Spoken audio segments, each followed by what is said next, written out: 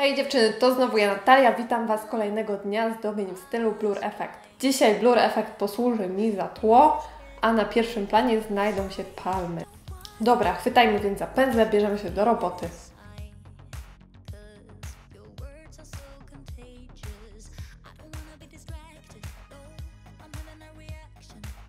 Do wykonania dzisiejszego zdobienia użyjemy żeli Arte Brillante, dry topu, buffera, dwóch pędzelków Master Art 004 i 005 oraz żelu X White. Na początku cały wzornik pokrywam dokładnie kolorem X White. Możecie tutaj skorzystać z pomocy hybrydy Mr. White lub pokryć cały wzornik Sugar Effectem. Żel X White utwardzam w lampie przez minutę i następnie matowię go. Nie muszę już go przecierać, bo żel ten nie posiada warstwy dyspersyjnej. Zmatowienie go jest bardzo ważne, ponieważ inaczej nasz wzorek nie rozpłynie się tak ładnie. Pędzelkiem Master Art 004 na środek naszego wzornika nakładam kolor Like a Princess Następnie troszeczkę wyżej nakładam kolor Glam i u samej góry ląduje kolor Bella Armata. Kolory te będę cieniować za pomocą fioletowego cleaneru.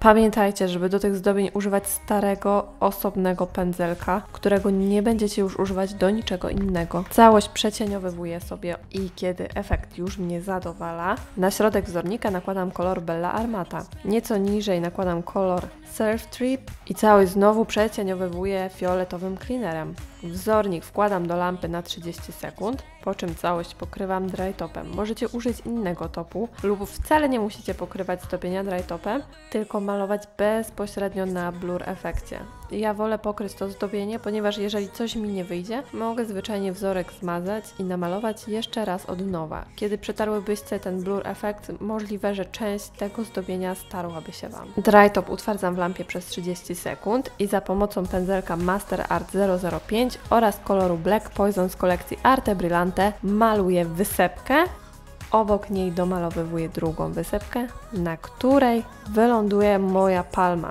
Tak, dzisiaj malujemy palmy. To tło, które stworzyłyśmy za pomocą blur efektu, daje nam efekt takiego zachodzącego słońca. Wygląda przepięknie. Palemkę utwardzam w lampie przez 30 sekund i tak naprawdę nie musiałybyśmy jej pokrywać ponownie topem, ponieważ żele Arte nie posiadają dyspersji, dzięki czemu pięknie się błyszczą. Nie musimy ich przecierać, ale jeżeli chciałybyście, żeby to zdobienie było na płasko, pokryjcie je wtedy topem, jaki macie w domu. Ja bardzo lubię używać dry topu, więc pokryję całość dry topem topem, które utwardzę w lampie przez 30 sekund. Tak prezentuje się gotowe zdobienie.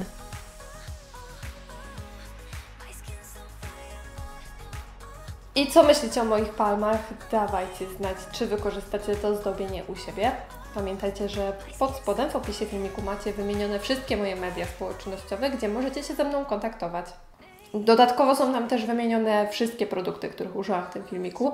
No i jeżeli jesteście ciekawi kolejnych zdobień w stylu Blur Effect, koniecznie bądźcie ze mną już jutro na kanale o godzinie 20. Do zobaczenia. Pa!